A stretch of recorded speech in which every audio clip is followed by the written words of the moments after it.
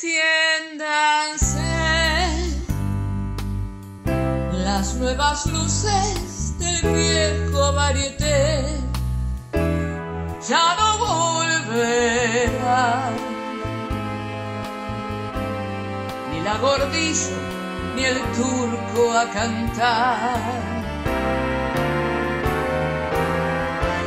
Hoy no es ayer, pero lo mismo buscamos el placer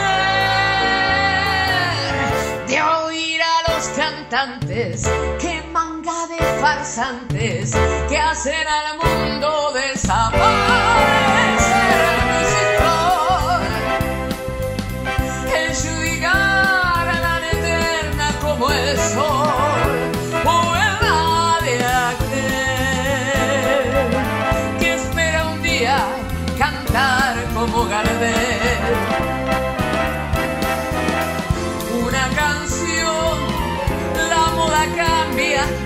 la fascinación. A escena los artistas mientras el mundo exista. No se suspende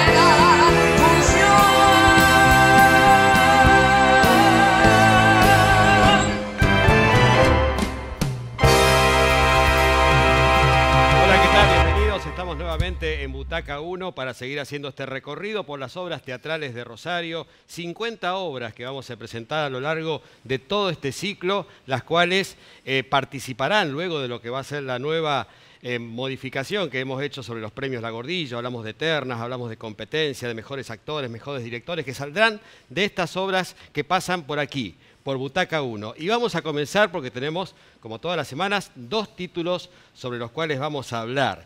Y este primero que vamos a presentar tiene que ver con este amor por el que estuvo y ya no está.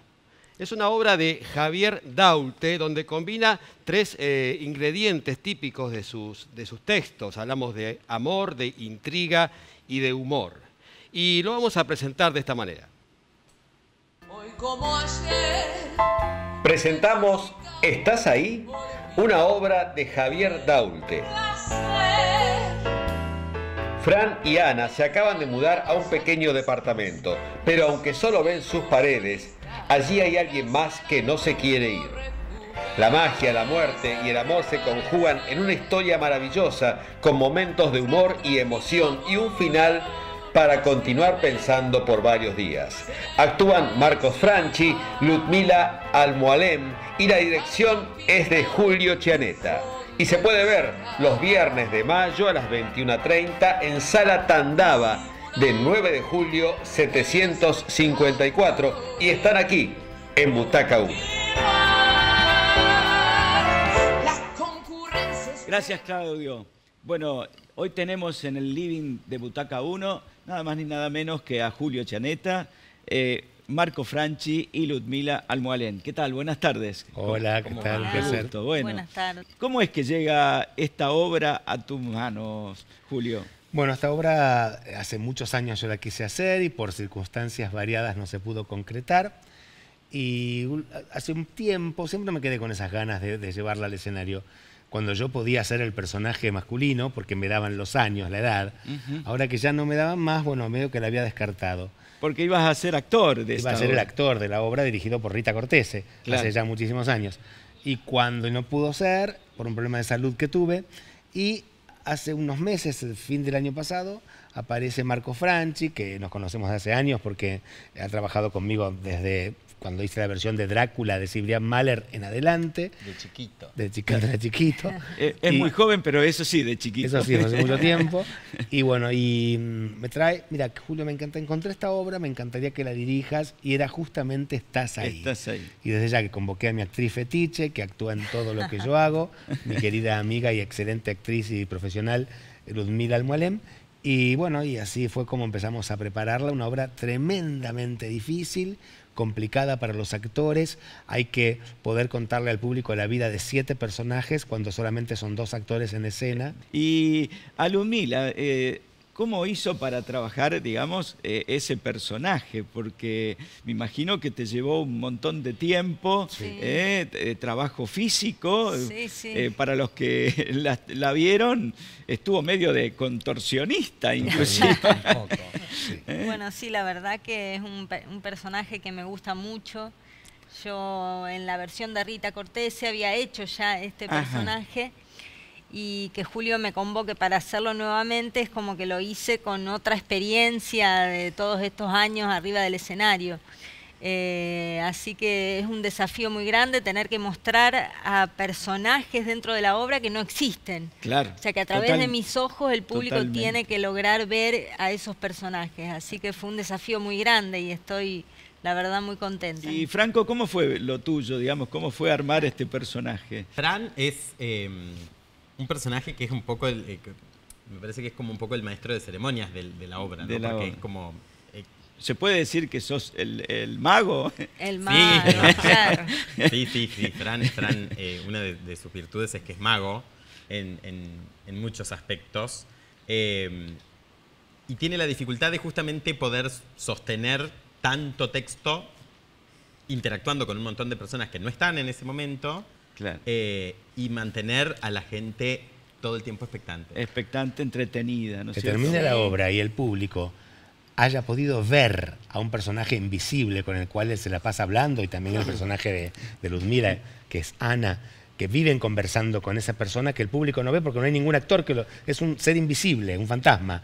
Bueno, y que el público termine yéndose a su casa habiendo visto a ese fantasma. A ese fantasma. qué les, bueno. Les quiero dar la bienvenida, gracias por, por estar con nosotros. Claudio, gracias, a vos por convocarnos. no, por favor, es un gusto. Y, esta cuestión de, los fantasmas, ¿no? Que se ha visto en el teatro clásico, hablamos de, Hamlet, donde los personajes, uno de los personajes también eran, fantasmas, Exactamente, exactamente. Eh, de alguna manera viene de por allí la cosa. Supongo yo que Javier Dolte, cuando escribió esta obra, que la escribió para Inglaterra, él se metió en un concurso que se hacía en Londres de dramaturgia nueva y eh, la escribió en inglés porque habla perfectamente bien ese idioma, la presentó sin demasiada expectativa, calculo yo, terminó siendo el que ganó el primer premio, la obra se hizo durante dos años consecutivos, no había lugar para ese teatro que era el estilo de Cervantes, enorme, no había lugar para dentro de un mes y medio, y fue tal el éxito que tuvo esta obra, estás ahí, eh, Are You There se llamó, y eh, la tradujo para la lengua que él también habla como nosotros, porque es argentino, el español. Se estrenó en Buenos Aires y también fue un éxito rutilante y ahora estamos haciendo nuestra versión nosotros que nos está yendo bien. También en el cine hablábamos con Quique, claro. ¿eh? hay una, película. Eh, que era Ghost, La sombra del amor, ¿no? que es una, obra fantástica. Bueno, Ghost tiene mucha relación con esta obra, porque en Ghost el personaje de Patrick Swayze eh, que está muerto, que es un fantasma, no se quiere ir de al lado de Demi Moore, que fue la novia con la que convivía, porque le cuesta mucho dejarla, porque aparte hay cosas que quedaron por cerrarse. En Estás ahí pasa lo mismo. Yo sería Demi. Vos serías como Demi, claro. y la sería Patrick. Patrick. Y la verdad, acá cuesta mucho a los personajes que, que no se ven. Dicen, hablando con gente que no está sí está. Claro. El problema es que no está corporizada y, no se ven.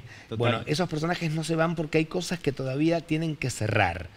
Y todo lo que le va sucediendo a los personajes que sí se ven es realmente una sucesión de vida, de situaciones que se representa muchas de las problemáticas que hoy tenemos que convivir y que afrontar. La muerte, el extrañar, los que nos quedamos la vida, el amor y el aprender a soltar. Por eso la obra no solamente es una sucesión de muchos gags que provocan mucha risa en muchos momentos, sino también es una obra profunda que no tiene que asustarle a la gente la palabra profunda, no, hay que llevar un lápiz para hacer una ecuación, sino que todo el mundo se va comprendiendo la obra habiendo visto lo que no se muestra en el escenario y sin embargo por la brillante actuación de ambos dos se termina viendo y todo el mundo se va a la casa con una sonrisa en el alma disfrutando de lo que es realmente el aprender a soltar por amor. ¿Nos repetís entonces dónde vamos a ver esta obra? Bueno, eh, ¿Estás ahí? Estás ahí, nos quedan unas poquitas funciones, eh, porque han sido todos los viernes de abril y, mayo, así que nos queda nada casi.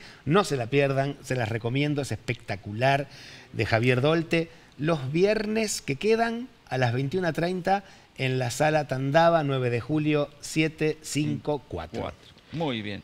Bueno, muchas gracias por venir. ¿eh? A ustedes, muchas gracias de verdad. Vamos a ir ahora con Roberto y después vemos quién se sentó en la butaca 1. Eso, enseguida vemos quién se sienta en la butaca 1. Ya volvemos.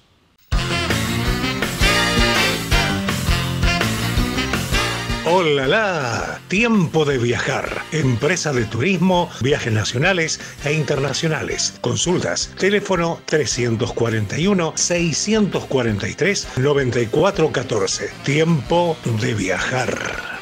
Seguimos difundiendo el teatro local en el programa Preservación con la conducción de Ana Provenzano. Los viernes a las 13 por Horizonte FM, Radio 91.7 de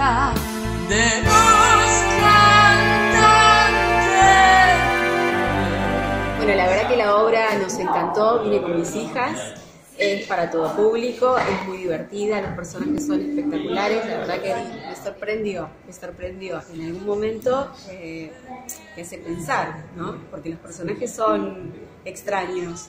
Entonces, eh, bueno, eh, hasta que se va desarrollando y te vas dando cuenta de algunas cosas, la verdad que eh, no es para nada predecible.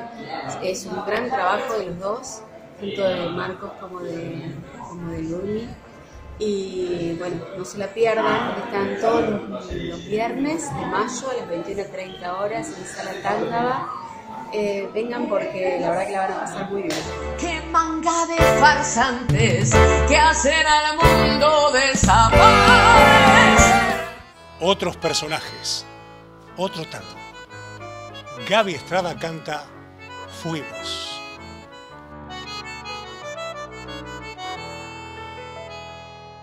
Fui como una lluvia de cenizas y fatigas en las horas resignadas de tu vida.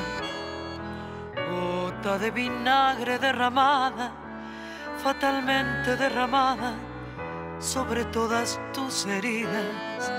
Fuiste por mi culpa golondrina entre la nieve, rosa marchitada por la nube que no llueve. Fuimos la esperanza que puede vislumbrar su tarde mansa. Fuimos el viajero que no implora, que no reza, que no llora, que se echó a morir. Vete, no comprendes que te estás matando, no comprendes que te estoy llamando.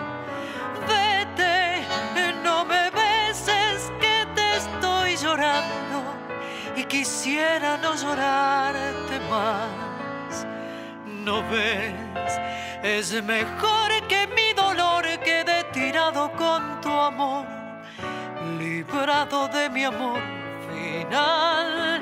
Vete, no comprendes que te estoy salvando, no comprendes que te estoy amando.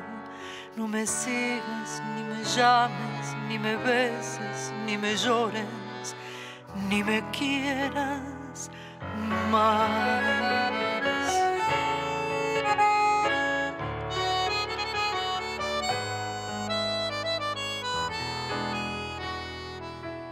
Fuimos abrazados a la angustia de un presagio por la noche de un camino sin salida pálidos despojos de un naufragio sacudido por las olas del amor y de la vida. Fuimos empujados en un viento desolado, sombras de una sombra que tornaba del pasado. Fuimos la esperanza que no llega, que no alcanza, que no puede vislumbrar su tarde mansa El viajero que no implora, que no reza, que no llora, que se echó a morir. Vete, no comprendes que te estás matando, no comprendes que te estoy llamando. Vete, no me beses que te estoy llorando y quisiera no llorarte más no ves, Es mejor que mi dolor quede tirado con tu amor, librado de mi amor final. Vete, no comprendes que te estoy salvando, no comprendes que te estoy amando. No me sigas, ni me llames, ni me beses, ni me llores, ni me quieras más.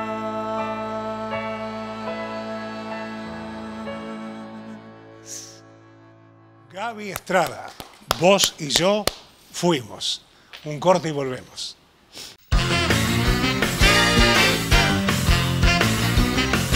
A1 DJ, sonido, iluminación, ambientación. 156, 191, 571. A1 DJ. Royal Cell de Guille de Toma. Todo para su celular. Accesorios, repuestos, servicio técnico, ventas por mayor y menor. Estamos en pedidos ya. Visítanos en Mendoza 1457 o en Mitre 1163. Royal Cell. Estamos conectados. La concurrencia espera, sonrisas por afuera y por adentro cada seis horas. Continuamos en Butaca 1 y la próxima obra tiene que ver con la historia de un personaje, un personaje muy conocido de la historia argentina, de lo que ha ocurrido en los años 50, 60 en Buenos Aires. Alguien que logró todo el éxito que quiso y quizás más aún, pero también tuvo que encontrarse con la soledad, con el desamor, con los desencuentros y también con una parte de la sociedad que lo discriminó por cuestiones eh, políticas, homofóbicas. Una historia realmente fascinante. La faraona del High Life. Presentamos La faraona del High Life de Omar Serra. Esta obra habla de un personaje clave de la historia del siglo XX, cuya identidad será revelada cuando el espectador vea la obra y que fue uno de los protagonistas más destacados de la política, el arte, el diseño y la cultura de los años 50. Su amistad con Evita y su adhesión al peronismo lo ubicaron en el centro de la escena cultural de su época. La faraona es el paradigma de una época cuyos destellos alcanzan el presente, cargándolo de renovadas preguntas en torno al prejuicio, el botón que muestra la permanencia de la intolerancia hacia lo diferente. Actúan Sebastián Tiscornia, José Antonio González, Oscar Yul, Mauro Guzmán, Carlos Chiapero Taylor, Lucas Rivero y Nicolás Constantino. La dirección es de Omar Serra y se puede ver los sábados a las 21 en Sala La Escalera de 9 de julio 324 y están aquí en Butaca 1. Gracias Claudio. Bueno, tenemos hoy en el living de Butaca 1, nada más ni nada menos que al director, actor Omar Serra y Sebastián Tiscornia. Buenas tardes, ¿cómo están? Hola, ¿cómo estás? Bueno, qué gusto, qué gusto tenerlos aquí en el living. ¿Cómo surge esta historia? ¿Querés contarnos un poquito? Bueno, eh, la obra es una adaptación de las memorias de un modisto eh, muy famoso de de Argentina, eh, que escribió en 1900 y publicó eh, sus memorias en 1975 bajo el título de La cabeza contra el suelo. Y de ahí yo hice la adaptación. ¿Cómo fue, eh, digamos, trabajar este personaje tan, enigmático y me sorprende el, parecido que tenés con... Ah, sí. Eh, te, fue más, fácil. Eh, sí, bueno, fue una construcción de no sé cuánto tiempo nos llevó. Y trabajamos durante la pandemia, el último año de la pandemia, trabajamos mucho por Zoom. Claro. Sí. Y después cuando se podía eh, reunir. Presencial, empezamos presencial. Claro, claro. Sí, pues, y tiene, porque tiene mucho trabajo, hay mucha, hay mucha gente en escena y hay muchos personajes. Sí, hay muchos personajes, eh, muchos personajes famosos, históricos. Ajá. Entre ellos estaba Perón, Isabel Sarli. Bueno, estamos adelantando eh, entonces algunos personajes que van a aparecer en, la apareciendo en la obra. En la obra, Yo les doy la bienvenida aquí a, Butaca 1. Este, Omar, que bueno, tuvimos la, tuve la suerte de ser dirigido por él en hace algunos años en una de sus obras, en, Layo, de Tebas. Es realmente una experiencia yo creo que trabajar con, con, Omar es un viaje a lo desconocido, ¿no? Uno no se sabe con qué se va a encontrar en ese, en ese trajinar realmente fue, fue un gusto. Y esta obra, donde realmente, como decía recién Quique, pasan un sinfín de, personajes. Vos lo decías, Isabel Sarli, Eva Perón, hay otros también. Fanny Navarro. Sí, Fanny Navarro, eh, que era una actriz de cine muy famosa de la época. Sí. De cine de teatro. Está Elvira Ríos. Que cantan incluso. Que canta, sí, porque la obra es un musical. Claro. Eh, también. El, género es un drama musical? Un, ¿Cómo lo Es un drama musical. Sí, eh, no, no, podemos decir que sea una comedia musical donde todo se dice cantando, ¿no? O, o, tampoco una ópera eh, también en ese en el sentido musical, ¿no? Pero tiene muchos, muchos elementos musicales. las, los principales personajes en algún momento eh, tienen una, una, actuación musical o cantan un tango, un bolero. Claro, se, van referenciando de, esa manera, digamos. Claro. Perfecto. Es que además se va contando toda una historia desde el comienzo de este personaje hasta su ocaso, ¿no? Claro, sí, yo digo que es como una película, porque dura una hora cuarenta y cinco. Que se pasa volando. Se pasa volando. Se pasa rapidísimo. Por el ritmo que tiene. el ritmo que tiene la, obra. Es una obra larga, si se quiere, pero bueno, eh, eh, pasa muy entretenida, muy rápida, ¿no? Sí, sí. Allí vemos la discriminación de, de la época hacia la homosexualidad, hacia una serie de cuestiones también políticas, ¿no? Sí, no hay que olvidar que eh, a, partir de la revolución libertadora, que en realidad no fue libertadora, sino fue eh, una revolución genocida con, el, bombardeo de Plaza de Mayo, a partir de la revolución estaba prohibido nombrar en los medios a Eva y a Perón. Sí.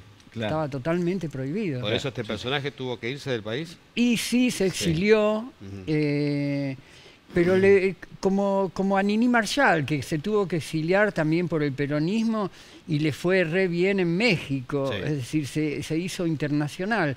Aquí también eh, a nuestro personaje eh, se exilia en Brasil y después en Estados Unidos y, adquiere mucha fama, mucho renombre en el exterior también, ¿no? Vale la aclaración que una de las personas que trabajó con nosotros en la obra también es Fernando Noy, desde Buenos Aires. Ajá.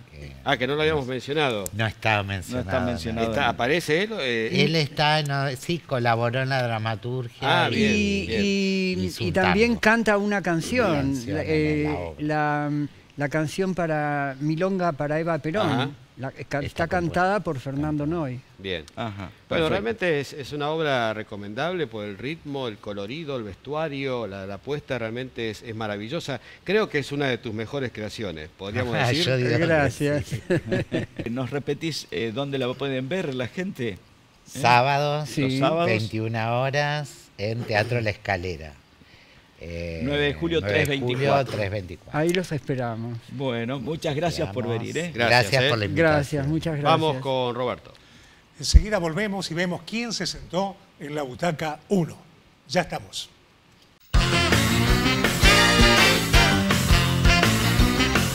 ¡Hola! Tiempo de viajar. Empresa de turismo, viajes nacionales e internacionales. Consultas. Teléfono 341-643-9414. Tiempo de viajar. A1 DJ, sonido, iluminación, ambientación. 156 191 571. A1 DJ. Ya no volverá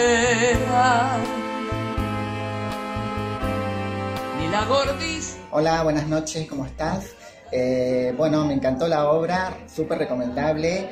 Es una obra para venir a ver porque realmente eh, los actores te hacen viajar en el tiempo con unos, artistas realmente este, históricos de la Argentina. Eh, la dramaturgia de Omar Serra, que fue inspirada en un modisto muy conocido acá de la República Argentina. Así que vengan a verla porque fue fantástica.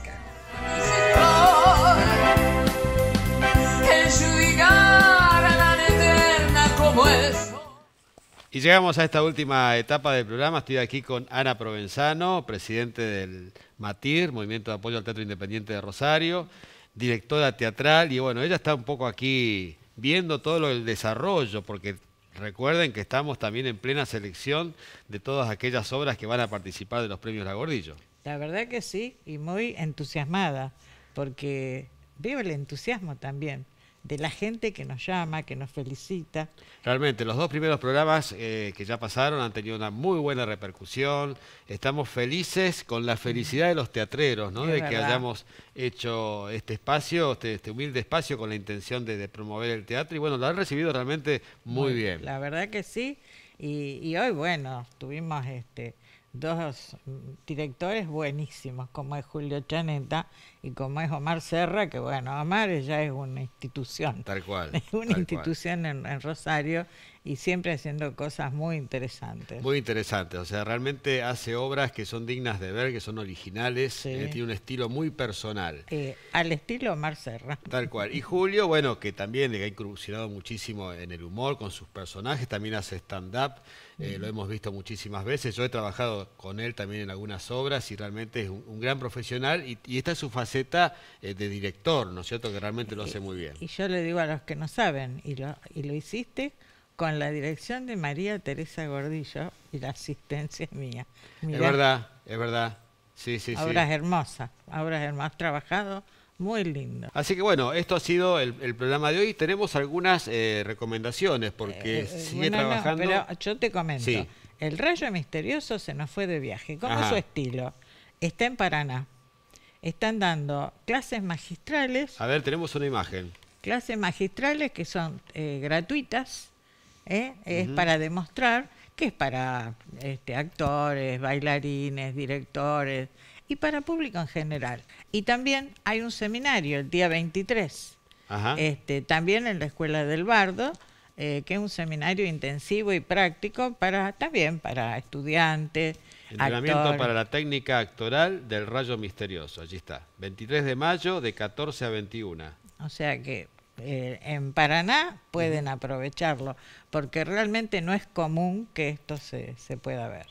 Tal cual. Bueno, vamos a seguir tirando sugerencias desde aquí en este momento. Este es el momento, digamos, tipo agenda, podríamos decir, de, algunas, de algunas propuestas teatrales que nos van quedando en el camino y también de este tipo de, cuestiones eh, relacionadas con el teatro para todos aquellos que quieren cultivarse y saber cada vez un poco más. Preservación es el programa de radio en Sí, que va los viernes, sí, los ¿Eh? viernes a las de 13 a 15, donde está el que yo digo el macro de Matir, donde pasamos la agenda, o sea, ahí pueden este, ustedes enterarse de todo lo que pasa en, el mundo del teatro rosarino. Perfecto. Bueno, gracias Ana, nos vamos a volver a encontrar. Gracias, a todos, Quique Serafini, Roberto Lara, toda la gente que hace este programa. Y nos vamos a encontrar nuevamente el próximo sábado a las 19 aquí por Somos Rosario con más Butaca 1. Chao. Que espera un día cantar como Gardel